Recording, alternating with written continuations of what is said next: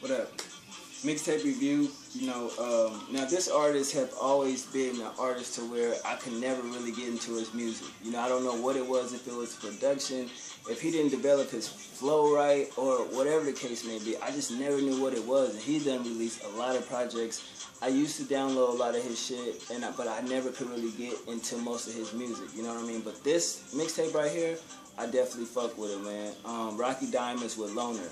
The mixtape cover is dope as shit, man. Like, straight up. Uh, features, you got Tory Lanez, O'Shea, J.R. Donato, and that's basically it. He kept the um, features to a minimum, and I can respect that. Um, let's get into it, man. Uh, uh, first track, Loner, featuring Tory Lanez, definitely dope as shit. It like switch up halfway through. The beat was kind of dark and eerie. You know, his flow was very ill but aggressive lyrics. You know what I mean? Tory Lanez added his um, portion to the song. Now the thing that got me twisted, and I'm keeping it 100 with y'all. Now say he featured Tory Lanez, but I couldn't tell them two niggas apart. So I'm wondering when the beat switched, was that all Tory Lanez? So if y'all know, let me know. But other than that, that song was just dope. Um, number two, Still Focused. It got the belly skit on there, you know. If y'all remember Belly, then y'all should know what skit I'm talking about if you listen to the mixtape. Uh, but definitely go check it out. The beat was dope as hell. His flow was crazy. He got kind of deep. I didn't know he actually can put words together this well and rhyme as well. You know, his lyrics was deep. It had no hook. Classic beat. Beat was classic as fuck. And he did his thing on that song. Go out and get it featuring O'Shea. I didn't like it. I'm sorry you know, I just think you can be more creative in making music about going out and getting money. It's like I didn't heard that so much in 2014. It's just like we have to get. If you're a rapper, be more creative and talk about ways of getting money besides just oh blah blah blah blah blah. Go out and get it. I'm not saying he did that, but it's just like it was too basic for me, and it's just like be more creative. You know. Um, number four, thank me. Uh, humorous lyrics, I will say that. You know, very humorous. The beat was dark. The hook, the flow was cool, but the lyrics were just humorous as fuck. You gotta check it out to see what I'm saying, but I understand that record a lot. Bitches like uh, soulful slash jazzy type beat. You know, his flow was on point. You know, I fuck with it. The hook was honest. You know, um, and the lyrics was honest. He came from a different perspective. You know what I mean? And it's like bitches like and you have to respect the person that can really convey emotion like that. I really fuck with that. Number six, down they used the brandy sample, right? And I didn't know how to go into this record with thinking like, okay, it's the brandy sample. I want to be down. We all remember that song from the early 90s. My sister, auntie, cousins used to go crazy for that shit. She was 16 years old. Brandy was doing her thing. That was the jam of the 90s. So they flipped that sample, which made the shit dope. The beat behind this sample was clean as fuck. Uh, his flow was crazy. You know, his lyrics was ill. And it just became a great song. So that could have turned out some fucked up shit where it's like the sample could have just been the down part, like I want to be down in a whack ass way, but they perfected it and it came out dope, man.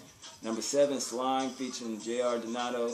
I'm not gonna lie, it's it's a good song, it's dope as fuck, but it's sounding like some drill music shit. I don't know where he's from, cause in the mixtape he said, I'm not from Chicago, I'm not from here, I'm from Minnesota. I don't know, that's what he said, so if y'all know where Rocky Diamonds is from, let me know. But it just sounds like, you know, a knockoff of like some Chicago Chiraq type music, and I don't really like that. That's another thing, sidebar. I don't like rappers taking a style. Like that drill shit that's going on in Chicago, that's their music sound, right?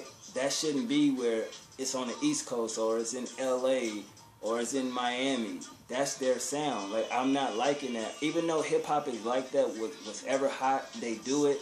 But I'm not feeling that shit because then it's gonna be oversaturated and the people that made it popular ain't gonna get looked at. You know what I'm saying? And, and the first person, let's keep it legit, that came out and popped off that was Chief Keef. Not saying that he's the greatest rapper alive, but he made that popular because he popped off first. You know, and the first person in any city that does something and it makes it, you can have 10, 20 motherfuckers do it, but when somebody pop off and it works, then boom, you know, they headlined that style. But even though him and you know King Louie go back and forth over who created the drill shit, who it doesn't matter. Just who made it first. So you have to give that title to Chief Keef. But I don't like when other people use it, like Bobby Shmurda. That's definitely, you know, uh, that's I'll leave that for another video. But this record just reminded me, number seven slime of, you know, that drill shit. Number eight, face. I didn't like it. Just basically about a bitch, you know, sucking your dick. Pause. And to me, that's that's kind of like in a way where I have, rappers they'll just say like getting head and shit like that, but that face or top shit came from yet again Chicago. So it's just like, yeah, I can't respect that. Uh, number nine, trying to find love. The sample was dope. I will say that smooth mellow beat. You know, uh, he was honest. It came from a real place. You know what I mean? And I like his flow. And I definitely appreciate songs like this when it's more honest and you're not forcing shit or reaching. Because I can't stand an artist that reaches too much or just says some outlandish shit like, oh, I can walk in the building and leave with five bitches or some shit like that. And we barely know who he is as an artist. So I felt he was genuine with this song and he wasn't reaching. Uh, moving on to number 10, By the End. I didn't like that song either. You know, I just couldn't get with it. The production didn't fit his flow or the lyrics. And the last track, One More Day, um, it got a Fabolous hook on it. You know, if y'all remember from his first album, One Day, my mama said I'm gonna make it, son are you? You know what I'm saying? That song, that was one of my favorite songs on Fabolous album as well, but I thought that was dope. The beat was dark, his flow was steady, his lyrics, he was honest in pitting that hook to match with the song, and I thought that shit was crazy. Overall, I think he did a better job than any of his mixtapes that he previously put out. So I get his project, you know, a seven and a half out of ten. I like eight out of eleven records. That's really not bad. Um, I know y'all feel like, well, damn, you like eight records and you only gave a seven and a half. Why you don't get a higher rating? It's because even though I like eight out of the joints, it still was certain things in each song that particularly, you know, was oversaturated or he talked about that in this song or you know it was just too repetitive. So I still feel that's a fair rating. Um, and production about seven. I give a production at eight because he did have a lot of great production for his samples and the way they mixed and mastered the shit. But definitely Rocky Diamond's Loner mixtape is definitely you know a mixtape I feel y'all should check out.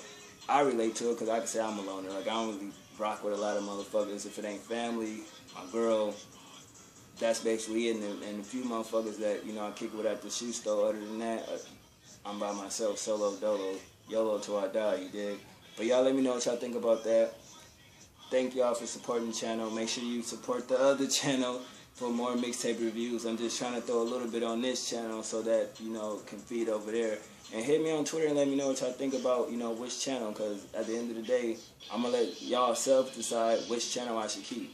You know what I'm saying? But other than that, I'm out. One.